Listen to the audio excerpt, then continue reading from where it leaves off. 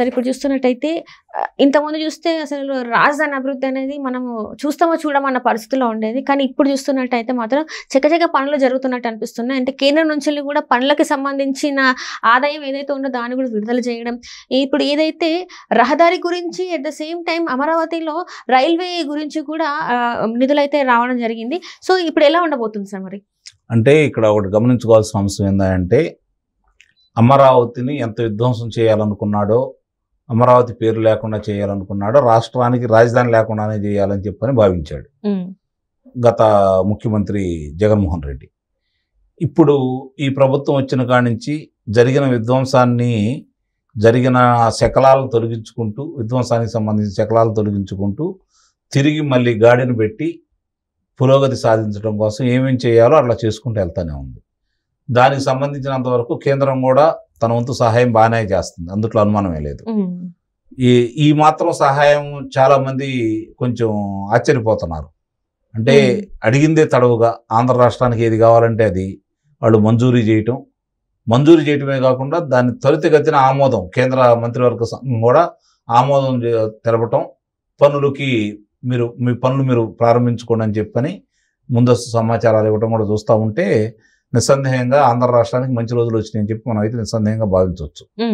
ఇక్కడ ఇంకోటి గమనించుకోవాల్సింది ఏంటంటే అమరావతి అనేది అసలు ఎక్కడ ఉంది? ఇది భ్రమరావతి కమరావతి శ్మశానం నానా గందరగోళంగా మాట్లాడిన వాళ్ళు భారతదేశం అన్ని రాష్ట్రాలకి రాజధానులు ఉన్నాయి తప్ప రాజధానులు లేని అనాథగా ఆంధ్ర రాష్ట్రాన్ని వాళ్ళు చేసిన విధానం చూసుకున్న తర్వాత ఈరోజు మొన్న జరిగినటువంటి డ్రోన్స్ అవును సంబంధించి. దానికి సంబంధించి చూసుకున్న తర్వాత ప్రపంచ పుస్తకంలో ఐదు విశిష్టమైనటువంటి కార్యక్రమాల గురించి ఆ రోజు జరిగిన దానికి ఐదు పొందుపరిచారు ప్రపంచ పుస్తకంలో.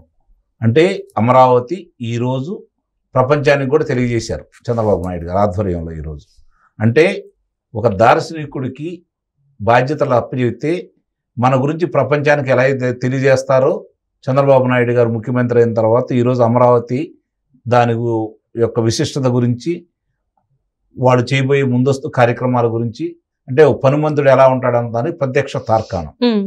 ఓ పనికి మాలినాడు స్వార్థపరుడు తన స్వార్థం తప్ప రాష్ట్రం ఏమైపోయినా పర్లేదు ప్రజలు ఏమైపోయినా పర్లేదు అనుకోవటానికి ఐదు సంవత్సరాల అమరావతిని నిర్వీర్యం చేసిన దానికి గత ప్రభుత్వం యొక్క పాలన నిదర్శనం. ఇప్పుడు ఇక్కడికి వచ్చిన తర్వాత యాభై ఏడు కిలోమీటర్లు. యాభై ఏడు కిలోమీటర్లు రైల్వే లైన్. దాంతోపాటు కృష్ణానది మీద మూడు పాయింట్ రెండు కిలోమీటర్లు. ఇది దానికి అంటే హైదరాబాద్ నుంచి వచ్చే దాంట్లో హైదరాబాద్ నుంచి వచ్చే ప్రాంతం నుంచి సంబంధించి ఇటు రావడానికి అనుమతులు అనమాట ఇవన్నీ కూడా ఈరోజు సాధించింది ఈ ప్రభుత్వం. మరి అట్లాగే పదిహేను వేల కోట్ల రూపాయలు ప్రపంచ బ్యాంక్ నుంచి రుణం అది కేంద్రం కట్టుకునేటట్టుగా. అది కాకుండా ఇంకో పదకొండు వేలు అంటే ఇరవై ఆరు వేల కోట్ల రూపాయలు ఈరోజు అమరావతి నిర్మాణం శరవేగంగా ముందుకెళ్ళటం కోసం తీసుకురావడం కూడా జరుగుతూ ఉంది. ఇప్పుడు ఇందా మీరు చెప్పినట్టు శ్రీకాకుళానికి సంబంధించి ఆ యొక్క బాగా రద్దీగా ఉంటుంది కాబట్టి ఆరులో ఆరు వరుసల రహదారిని కనుక విస్తరిస్తే ప్రజలకు ఇంకా మేలు జరుగుతుంది. రవాణా కూడా తొందరగా వస్తున్న ఉద్దేశంతో దానికి కూడా అనుమతులు మంజూరు చేశారు నితిన్ గడ్కరీ గారు. ఇలాంటివన్నీ చూసుకుంటా ఉంటే ఈరోజు ఆంధ్రప్రదేశ్ ఒకవైపు నుంచి ఏమో పరిశ్రమలు వస్తూ ఉన్నాయి. ఈరోజు చంద్రబాబు నాయుడు గారు అబ్బాయి లోకేష్ బాబు గారు మంత్రిగా గతంలోనే చాలా ఆయన ప్రతిభతో చూపించుకున్నాడు ఎన్నో పురస్కారాలు కూడా పొందాడు. మళ్ళీ ఈరోజు కూడా నిన్న ముంబైలో ఆ పరిశ్రమ వాళ్ళతో మాట్లాడటం కావచ్చు ఈరోజు అమెరికా వెళ్ళే కార్యక్రమాలు కావచ్చు. ఆయన పందాలు ఆయన వెళ్తున్నాడు. టీ టీసీఎస్ని తీసుకుని వచ్చేసాడు. ఇట్లా వరుసనే మన కళ్ళ ముందు కనపడతా ఉన్నాయి. వాళ్ళు ఏమేం చేశారు ఏం జరుగుతుంది అనేది.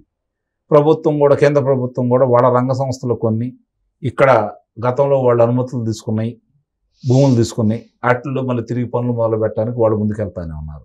అంటే చంద్రబాబు నాయుడు గారు ఈ కూటమి ప్రభుత్వం ఐదు సంవత్సరాల విధ్వంసాన్ని కనపడనీయకుండా ఐదు సంవత్సరాల సమయంలో వాళ్ళు పది సంవత్సరాలు పరిపాలన చేయాల్సిన అవసరం ఈరోజు ఏర్పడింది. ఇప్పుడు పోలవరం చూసుకున్నాం. రివర్స్ టెండరింగ్ ద్వారా దాన్ని నాశనం చేశారు. ఈ రోజు మొదటి దశ పూర్తి కావడం రెండు వేల ఇరవై ఒకటిలో పూర్తి కావాల్సిన దాన్ని రెండు వేల ఇరవై నాలుగుకి చంద్రబాబు నాయుడు గారు మళ్ళీ దాన్ని కాలపరిమితి పెట్టుకొని కేంద్రం ఈరోజు దానికి కూడా పన్నెండు వేల ఏడు వందల కోట్ల రూపాయలు అనుమతులు ఇవ్వడం కూడా జరిగింది. ఇవన్నీ కూడా ఈ ప్రభుత్వం వచ్చిన తర్వాత సాధించింది అలాగే వెనకబడిన జిల్లాలకు సంబంధించి కావచ్చు మిగిలిన పనులకు కావచ్చు. ప్రభుత్వంతో గతంలో ఏదైతే ఆగిపోయి ఉన్నాయో కేంద్ర ప్రభుత్వం దగ్గర రాష్ట్రానికి రావాల్సినవన్నీ వరుస పెట్టి ఒక్కోటి ఒక్కోటి తీసుకొస్తా ఉన్నారు. దానివల్ల ఈరోజు ప్రజలకి మేలు జరగడమే కాకుండా ప్రభుత్వం ప్రభుత్వం పైన కింద రెండు ప్రభుత్వాలు కూడా రాష్ట్ర ప్రభుత్వం లేకపోతే కేంద్ర ప్రభుత్వం రెండు కూడా సమన్వయంతో ఈ రాష్ట్రానికి జరిగిన అన్యాయాన్ని గుర్తించింది ఈరోజు కేంద్ర ప్రభుత్వం కూడా నిస్సందేహంగా. గుర్తించింది కాబట్టి ఈ గాయాలను మాన్పటానికి వాళ్ళ వంతు కృషి వాళ్ళు కూడా చేస్తున్నారు. ఇక్కడ వాళ్ళు చేస్తున్నారు కదా అని చెప్పని వీళ్ళు ఇష్టం వచ్చినట్టు కాకుండా రాష్ట్రానికి ఏ అవసరమో గుర్తించేసి ఏమేం కావాలో గుర్తించుకుంటూ అప్పులు తీసుకోవట్లేదు గుర్తుపెట్టుకోవాల్సిన అంశం ఏంటంటే గతంలో తాకట్లు పెట్టారు ఆస్తులు ప్రభుత్వ ఆస్తులన్నీ కూడా. అభివృద్ధి గురించి ఆలోచించాల. ఆదాయ మార్గాల గురించి ఆలోచించాలి. ఇప్పుడు లక్ష కోట్ల రూపాయలు ప్రతి సంవత్సరం వడ్డీ రూపేణా కట్టాల్సిన దౌర్భాగ్య స్థితి ఈరోజు ఆంధ్ర రాష్ట్రం ఎదుర్కొంటా ఉంది. మరి ఇవన్నీ చూసుకుంటా ఉంటే సంక్షేమ పథకాలు కొనసాగించాలన్నా ఇవన్నీ చేయాలన్నా కూడా తలకబిరించిన భారం అవుతుంది మరి రాష్ట్రానికి ఆదాయం కావాలి కదా. ఆదాయ మార్గాలు ఏంటి? అదే ఇప్పుడు ఈ ప్రభుత్వం ఎన్నుకుంది. ఎలా వస్తాయి? పరిశ్రమలు వస్తే వస్తాయి. చేతి నిండా ప్రజలకు పని ఉంటే వస్తుంది. దుబారాన్ని తగ్గిస్తే వస్తుంది. ఇవన్నీ కూడా ఈ ప్రభుత్వం ముందుకెళ్తానే ఉంది. మరి అదే ప్రభుత్వం గత ప్రభుత్వం ఇదే అధికారులు ఉండి సంక్షేమ పథకాలకు ఇవ్వాల్సినప్పుడు పోయి అప్పు తీసుకొని వచ్చేవాళ్ళు.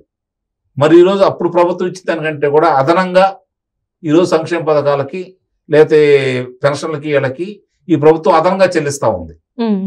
మరి ఈ డబ్బులు ఎక్కడ సమకూరుతున్నాయి? ఇది ప్రజలకు అర్థం కాని విషయం. మరి ఆ రోజు అప్పులు ఎందుకు తీసుకొచ్చి వాళ్ళు ఇచ్చారు?